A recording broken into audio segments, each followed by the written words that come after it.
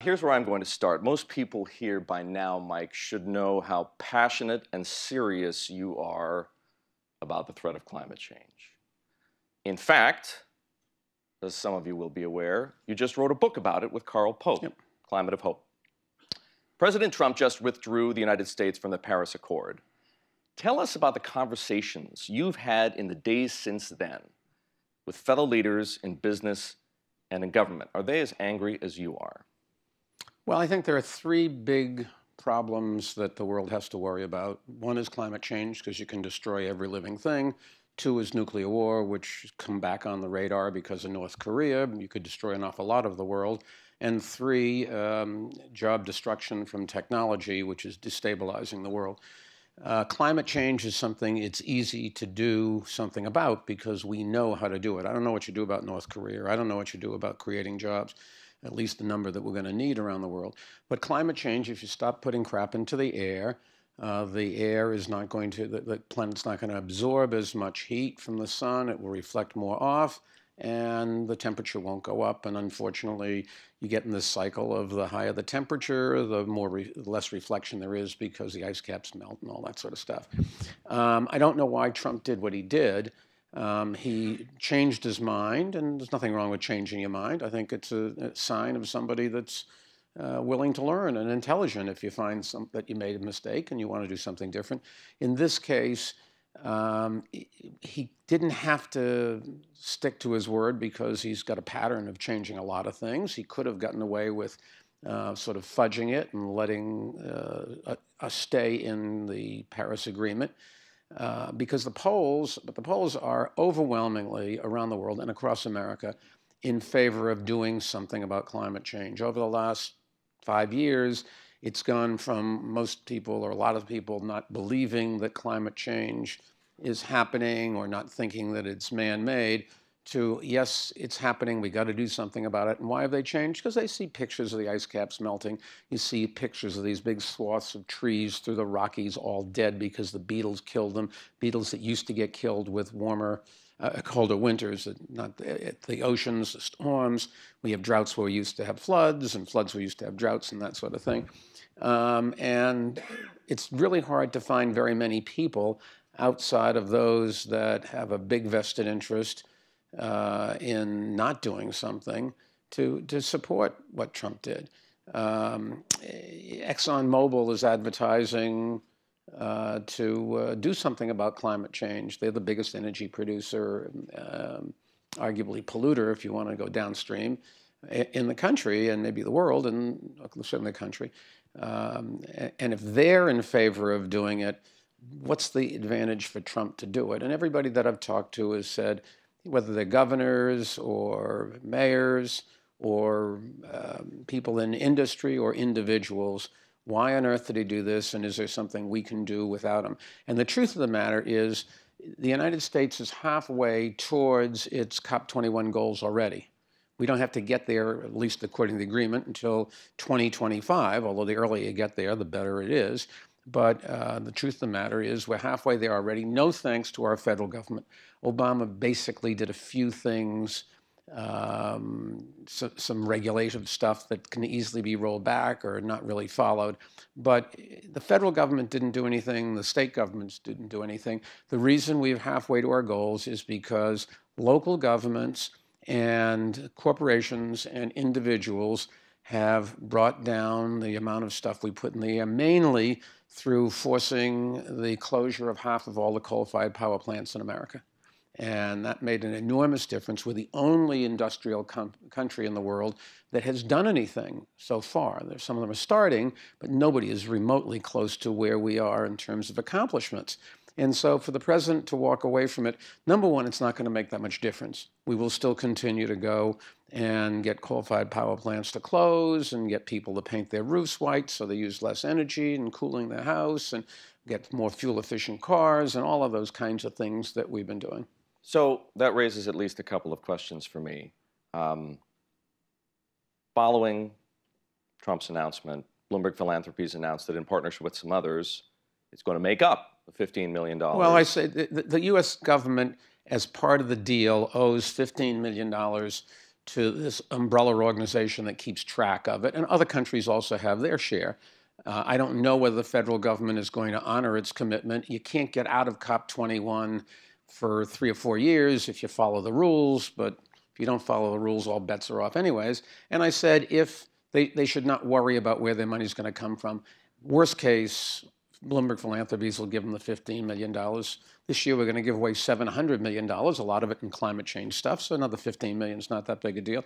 And will we syndicate it? If you called up and you said you wanted to help, we'd be happy to take your money. We'll, we'll give it to the Sierra Club and let them use it. So you're also behind this new idea called America's Pledge, a coalition, not a new idea, but a new name, let's say. Yeah. Uh, this coalition of states, cities, um, and companies united in fulfilling the commitments made in Paris. What gives you the confidence, Mike, that this group can be successful in spite of the administration's position? Well, it's, it's hard to uh, do less than the last administration did. Really? I, mean, that's, I told you, uh, Obama did basically nothing. That administration did almost nothing. All of this was done by the private sector and local governments, city governments. And so we can just continue. It really, you know, America's pledge is a nice rubric for what we're trying to do, but in, in the end, it's still people downwind from the local power plant going and picketing and saying, "I don't want my kids to breathe the air that you're you're polluting. I don't, uh, you know." Uh, and and for them, the owners of the power plants to say, "My God, renewables have become competitive for the first time without federal subsidies, mm-hmm. and frac natural nat, natural gas." Um, is a better alternative than burning coal. Can I go back to the point that you made about ExxonMobil? Because I think there's some room for confusion here, not by the yeah. point that you made, but by what people observe and perceive. On the one hand, you have ExxonMobil, Conoco, BP, Total, and a number of other oil companies right. reaffirming support for Paris.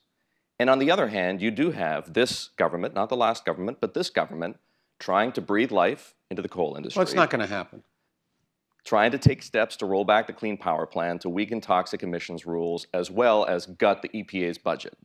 All, and this is where the contradiction comes into play, all presumably at the behest of lobbying organizations that are backed by industry, energy intensive industry, or yeah. energy in and of itself. So the question we may all be asking ourselves is what does big business really want? Who do you believe? Do you believe Darren Woods when he says we're behind uh, Paris? Or do you believe, is it, is it a question of watch what they do, not what they say? Well, now look, uh, companies have to um, continue to make money and please their stockholders. They work for the stockholders. Um, but if you take a look at Exxon, what they see is they're going to have to be in the renewables business because that's what gonna, is going to power everything. And they have to uh, uh, find ways to use their products in things other than just burning them to create heat to in turn generate electricity. Um, and incidentally, nobody's ever going to be perfect on everything. They can belong to organizations, and those organizations don't always do mm-hmm. everything mm-hmm. that they want. I think it's fair to say that for ExxonMobil to stand up, lead the charge, get these other guys to, to sign up with them is a very big step and a slap at the administration to say, wait a second, we cannot continue doing what we're doing. We're going to destroy the planet. And ExxonMobil said, and we'll figure out how to make a living afterwards, but you just have to do this. So let's go back to America's Pledge for a moment. This coalition of cities, states, and companies. How will you define success? Well, we're going to meet the goals that were set and negotiated. And what somebody has to explain to the president is the uh, COP21 was really designed to help these other countries um, and uh, to do what we need them to do. We are the beneficiaries when another country cuts back on its emissions. And we are hurt when they don't or when they increase the thing about the world is it's all, everybody in the world breathes the same air. And so if China doesn't reduce their uh, pollutants, we get hurt. If China does, we benefit. Now, the truth of the matter is the two countries that are leading the charge after America on reducing the pollutants in the air are China and India. They are the biggest um, uh, uh, producers of greenhouse gases, And both governments have recognized that they cannot survive as governments if they don't do something. That people have just risen up in arms and said, I can't see across the street, my kid can't go out. And so they're going to do something about it. And they've already canceled a lot of coal-fired power plants, a lot of closing some steel mills and cement plants, which also are very damaging uh, to the economy. And this business of, well, we shouldn't do it unless they do it. Number one, they're doing it. And number two, even if they don't do it, we still have to do it because we're the beneficiaries. If they don't want to help themselves, they'll hurt their own people and they'll hurt us. But that's no logical argument why we should then say, okay, we'll go continue to kill our people as long as they're killing their people. It's just nonsensical. I said that one time. It was a House Select Committee. I was out in Seattle. There were four mayors testified, and then four Democrats, two Republicans. Sensenbrenner was one of the Republicans. I forget the other guy's name. And it was a House Select Committee. Select committees, if you don't know, they can't introduce legislation. They're there so they can get PR so that they can get stories in the paper for their homegrown, uh, their home uh, constituencies. And this uh, one, the two Republicans said, uh, Mayor Bloomberg, we're not going to stop polluting unless you stop, pollu- uh, unless the, China stops polluting. And I said, Congressman, you're saying we should continue to kill our people because they're killing that people. That's the stupidest F-U-C-K-I-N-G reason I've, I've ever heard. And by now, everybody in the audience, all environmentalists, are on their chairs screaming, Go for it, go for it. And the guy picked up his briefcase and stormed out. we, we did not bother to call to apologize because I don't think it would have been accepted. Um, speaking of constituencies, let's address this constituency right here. You were appointed by Mark Carney, who happens to be the governor of the Bank of England, but in this particular case, how can a Canadian be the head of the Bank of England? I can never figure that out, but that's okay he likes the job. He does. Uh, he also happens to be the head of the Financial Stability Board. And in that capacity, he appointed you to chair a task force looking at climate change from a market perspective. So let's put climate change in perspective for investors. Why should they care? Well, if you're a company, it's hard to recruit people, the best and the brightest, certainly, if you're not environmentally friendly. Kids out of the better schools, the ones that you're really at hard, where there's a big shortage, like in STEM, uh, all want to know what you're doing for the environment. So it's a very big deal for companies to try to uh, create the impression, hopefully true, that they are active in the causes that young people care about, one of which is certainly climate change. Two, the employees and the customers of big companies care about what those companies do, and sometimes they'll boycott if they're a customer or uh, go to another place to, to, work if, they, if the company doesn't do that. And lastly, uh, the investors care. Uh, the big pools of money, uh, pension funds and endowments, that kind of uh, organizations, they want their, uh, the beneficiaries want the money to be invested socially responsible ways. And so a lot of the big managers, when they sit down with management, uh, want to know what you're doing in the environment before they even ask about earnings. So that's why transparency and uh, disclosure. Well, it, so yeah, I mean the whole idea of the Carney thing, and we have an American version of that, is you can see what other com com companies are doing, mm -hmm. and that puts pressure on you to because otherwise people are going to say, well, if they can do it, you've got to do it. The but, sunlight disinfectant. Yeah, they're, they're, it's hard to show in social investing that it really makes a big difference in your return, plus or minus. But in this case, these uh, the money managers say our people don't want us to invest in companies that are uh, uh, killing us. Mike, I'm going to use the words climate and environment in another sense. The political climate in Washington, people older than me say, is like nothing the country has experienced since Watergate. Do you agree? Um, not in my lifetime uh, uh, have we seen this. I don't know if you go way back whether it was more vicious and more nonsensical and more partisan than it is today. But certainly in our lifetime, what's changed is social media and transportation, I guess. Transportation because now everybody in Congress comes on Tuesday morning, leaves Thursday night. They spend their weekends at home talking to their constituents, trying to raise money during the week when they're in Washington. The junior ones are all sent to an office building, which both parties have one, and given lists of who to call, and they spend all their days calling. And if they're needed for a vote, they'll get them back. And you know, you say, well, how do they influence legislation? There's, you have no ability to influence legislation if you're a junior congressman or a first-term senator. Uh, getting power only comes with longevity And uh, so uh, that's what they do. And they don't get to know each other. So that's why a lot of this partisanship. It used to be they'd live in Washington and their kids would go to the same schools and they'd meet at PTA meetings and they'd go to dinners together and they'd build a relationship. Today, you go to the Senate uh, dining room, Republicans and Democrats would never share a table. Just wouldn't share a table in this day and age. There'd be so much pressure from the others in their party if they even if they wanted to. How is this vicious, in your words, climate um, having an impact on the business? Well, it's hard to get legislation passed, and uh, some legislation we need, some we don't. Um, but uh, the one thing business needs is certainty. Uh, for almost every business, there's a few exceptions. But just tell me what the law is, and I will figure out how to work with it. What I can't deal with is not knowing what the law is going to be tomorrow, whether it's employment law or trade uh, legislation or taxing, uh, regulatory stuff. As you may remember, uncertainty was a rallying cry for the political opposition and, to a large extent, the business community during the certainly the latter part of the Obama administration. Is there more or less uncertainty today?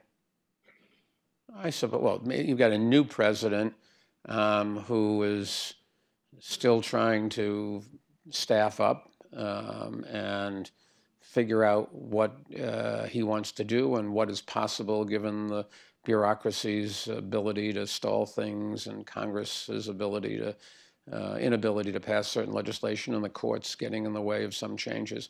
Um, so uh, it, it's just there is more uncertainty because of that.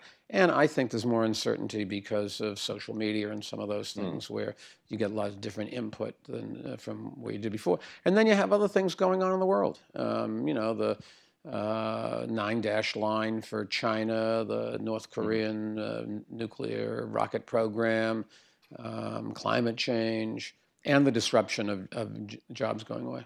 You spoke to the president in the days after the election. Once, two weeks after he got elected. Have you spoken to him since? No, Do you have any contact with him?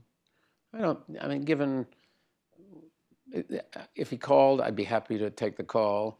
He wouldn't call. What he would do is send a message. He'd like to get a call. That's the protocol that they.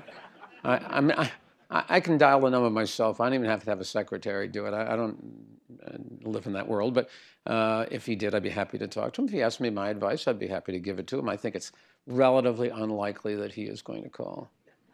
But, but if he did, we are, for the record, on a first name basis. I mean, I've cut ribbons with him in New York City. I played golf with him 10 or 15, 12 years ago.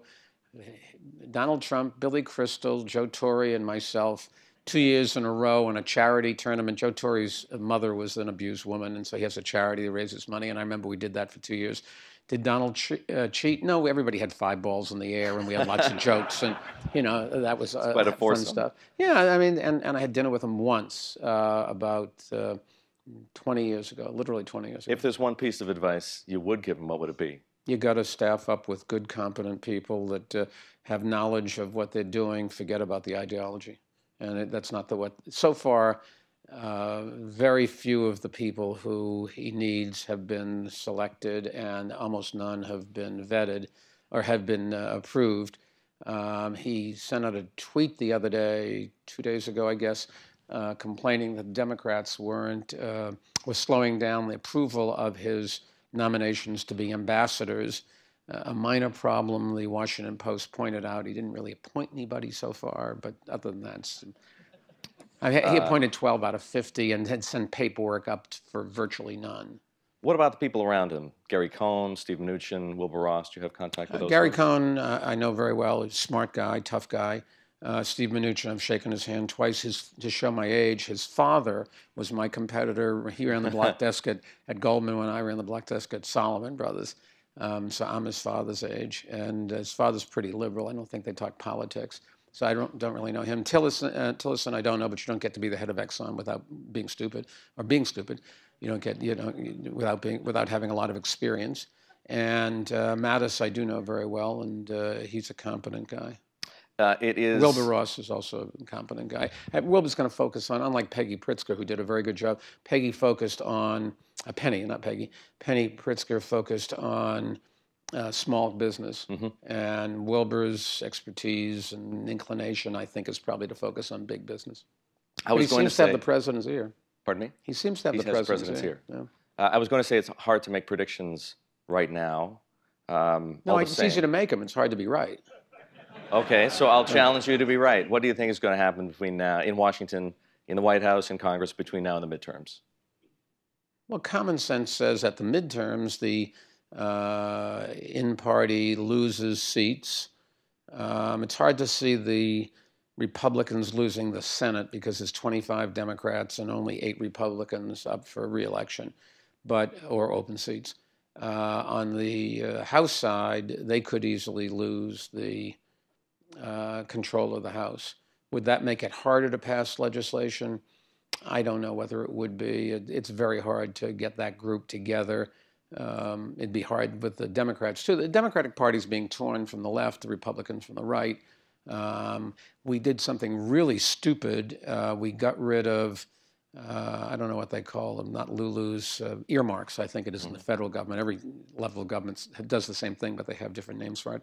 Um, it was a very effective ways for a manager to run a group. And you can say it's bribery. Yes, it is bribery, but it, the world is you do me a favor and I will do you a favor. What favor can you do a congressman? Well, you give him some money to have the local YMCA's roof fixed. That's what it does. It didn't really hurt anybody. It was a trivial amount of money.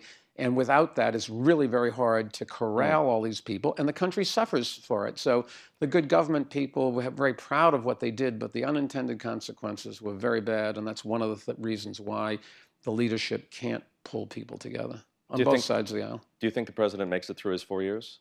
Unless he has a heart attack, sure. Yeah, I mean, I, you know, he's 70 years old. What's the uh, what's the odds on a seven-year-old man having a heart attack?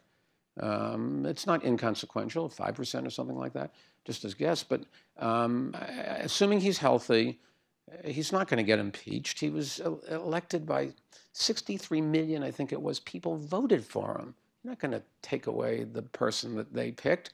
He won the election fair and square, maybe with a little help from the Russians, but hey, you know, okay. Um, you know, but but uh, he's not going to get impeached. You'd have to have something so egregious with so much uh, proof, and even then, I'm not so sure. His supporters voted for him for a reason. Some of them are going to be very disappointed because he couldn't possibly deliver what he promised, but they wanted a change. And you see that around the world, and it comes from what I said, talked about with the job destruction. Uh, it comes because of social media. There are a few things that are different today than were uh, than they were uh, eight years ago, twelve years ago, whatever. And um, uh, the beneficiary of that. He's also going to be the uh, hurt by that because people are going to say, wait a second, you promised, or there are new needs that nobody had ever talked about and he can't deliver. It's really hard to see how we get lots of legislation through. Um, if you think about it, we have we don't have the three parts of government that really matter here all in the hands of the Republicans. The Senate's in the hands of the Republicans, the House is in the hands of the Republicans, but the president's not a Republican. And the party rented a candidate, and the candidate rented a party, and that's not a good sign. That that doesn't give you a warm and fuzzy feeling that they're going to be able to pass legislation. Before we run out of time here, Mike, um, here's a question about this group of people. You've been serving the investment community for more than 50 years. Sorry to remind you. Started in '66. I'm, I'm Um, happy about it. Hope it goes a lot longer. Yeah. First, of course, at Salomon, and since 1981 here at Bloomberg LP. How have you seen the buy side change? Well, the size of the, um, of the, of the amount of monies are just. Uh, I was talking to Bill Gross backstage, and when we started in the business, nobody talked about billions. I told him a story. Salomon Brothers. Somebody demanded that we make a two-sided market in the long Treasury, and uh, they asked how big it is, and the partner who was in charge of the desk said, "You know, screw him. We're as big as he wants to be." And he sold us 100 million bonds, and we weren't sure we could finance it that night. Today, it'd be an odd lot. Um, so there's that. There's a lot of technology that's being used. Um, there's the f- focus on passive investment, but I, I am 100% convinced that that is only because the stock market has done nothing but go up since 08 in a straight line. And if any money manager knew that it was going to do that, you'd just buy S&P ETFs and go play golf. Uh, but at some point in time, that stops. And then that's when you want to hire people for active management and two and 20, if that's what you got to pay, three and 30, anything that gets you alpha, you got to do that. Right now, the, the, the active managers have less ability to uh, distinguish themselves, and so people use them less. That's what capitalism is all about. But that's going to come back, and we will use a lot more technology uh, from satellite, uh, whether uh, cars in McDonald's parking lots are more in the morning versus at lunchtime, uh, stuff like that. Does it really help? A lot of it's freakonomics. A lot of the AI stuff gives you results like that. Uh, in the end, there's a lot of uncertainty. Nobody knows why markets overnight all of a sudden uh, pay attention to facts that have been there for a long time and that mm-hmm. nobody paid attention to. I've been a bear for the last half a dozen years. Um, every time there's another disaster around the world, I think, oh my God, the market's going to react. And it hasn't reacted. I don't know why. But one of these days it will. And then everybody's going to say it's going to go down forever. What happens is typically the bull markets last for much longer than the uh, bear markets, which tend to be sharper and more precipitous. Um, and that's probably going to happen again. And the market, the banks will come back, and they'll add more traders and more salesmen, and uh, they'll do everything they did before. These cycles, I've watched it a number of times, and the unicorns concept is going to, you know, go away. I mean, you have to have in in when I first started uh, in I think it was late '60s you had uh, technology companies coming, and as soon as they made money, uh, the market, the stock collapsed. Because until then, it was all pie in the sky. You could put any number on a multiple on, on zero that you wanted. Once the multiple applied to real earnings, and you say it's worth how much, and then everybody walked away, you'll have that again. Uh, I think it's fair to say one, at least one of the reasons that the people in this room are here today is that they either use the Bloomberg, they watch TV, Bloomberg Radio, TV. Well, if they don't the have a Bloomberg, we're taking names. Trust me. Yeah. Hope so. Um, that being the case, how are we working to help them solve their problems and meet their challenges? What are we doing? Well, I think every company should do what I like to think we do, um, and that is you want to. The conventional wisdom is listen to your customer, and you should. They, the, the, you owe them the courtesy of that, and sometimes they have good ideas. But generally speaking, the customer and the salesman, this is true of every business, is comfortable with what they have today. They're not very good necessarily at knowing what they're going to need tomorrow. And even if they thought about it, they'd be scared to even let it into their minds. That's what happened to Kodak. They saw uh, uh, the, the camera in, in the cell phone and they didn't do anything. Now, whether they could have gotten in, I don't know, but they didn't even try. There are lots of examples of businesses that overnight, I think uh, the credit card business is under going to be under attack because um, it's you can transfer funds so quickly for, without any friction. Hard to see how you're going to charge to do that. Um, so there are those kinds of things that um, uh, are, are uh, changing. But what we've got to do is try to figure out what you're going to need tomorrow, build it, and then convince you to buy it. Um, and that's what I, in government I would call that leading from the front rather than leading from the back. If companies just try to replicate other companies' products, by the time they get out there, the other guy's first mover advantage, and in any case, the markets walking away from those products to the next best thing. You've got to find a ways to anticipate the next best thing and do that. And we try to do that. Um, so, you know, we collect data before people need ask to use it um, and things that you'd never thought anybody would care about. But turns out that a lot of times the market comes towards you, and we've been not right every time, but a lot of that. Same thing with uh, ways to distribute data. Same thing in ways uh, what data, uh, how you do the calculations, and different kinds of uh, displays. Um, and uh, it's, it's no different in our business. We have, we're in a good position, but there are plenty of competitors out there uh, who are working very hard. We don't have a lock on all the good ideas or all the good people. And if we were to take our eye off the ball and slow down and rest on our laurels, that's, that's, what, that, that's the way companies destroy themselves. Mike, I'd like to thank you, and I hope everyone agrees with me. That was a great way to start thank off you. Bloomberg Invest. Thank you for coming, everyone.